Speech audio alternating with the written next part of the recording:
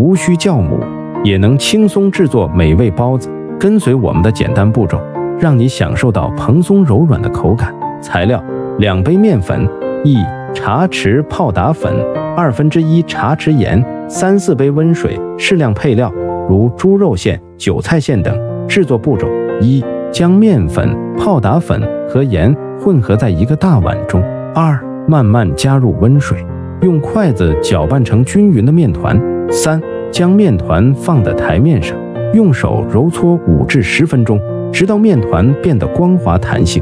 四、将揉好的面团放回碗中，用湿布或保鲜膜覆盖，放置十至十五分钟，让面团松弛。五、取出面团，将其分成小块，擀成薄圆形。六、在每个薄圆形面皮上放入适量配料，然后将边缘向内对折，捏紧封口。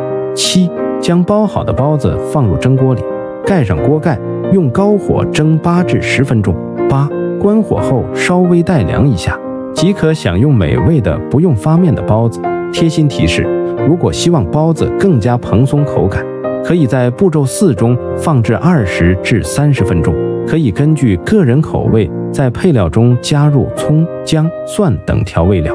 蒸包子时，记得要蒸至少八分钟以上，确保包子熟透。快来尝试不用发面的包子吧，享受自制美食的乐趣，让家人和朋友一起分享这份美味。